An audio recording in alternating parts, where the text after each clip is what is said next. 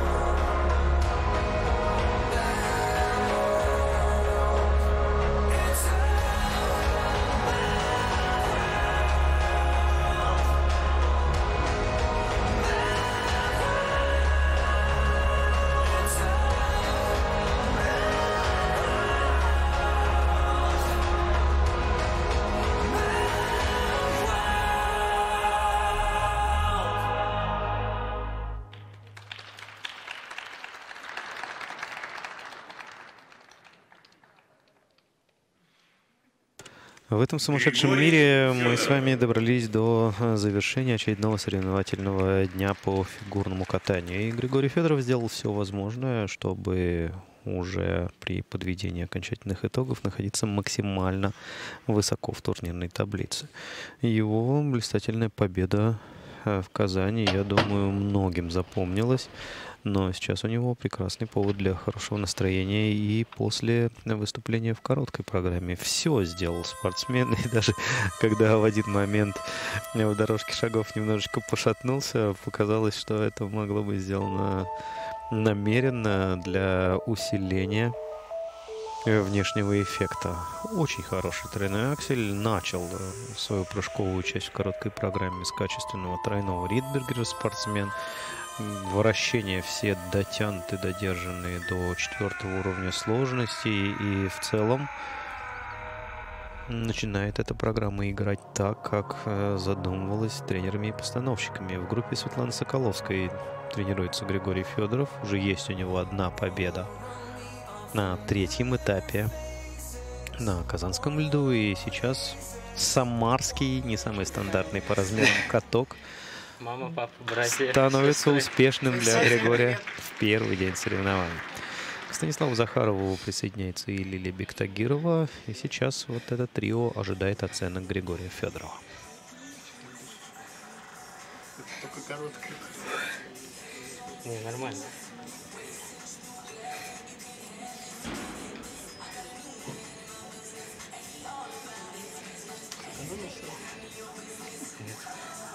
Всего себя выбил. Да? Да. Вот там вот, Дорожки, серединки, да. Без остатка. Я ехал, прям выделывал все до этого. Потом уже ехал, чтобы доехать. Спасибо, что доехал.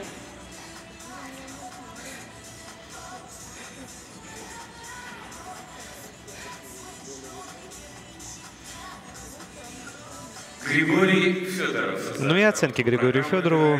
86. А Оценки-то знатные, 86 и 24 сотые.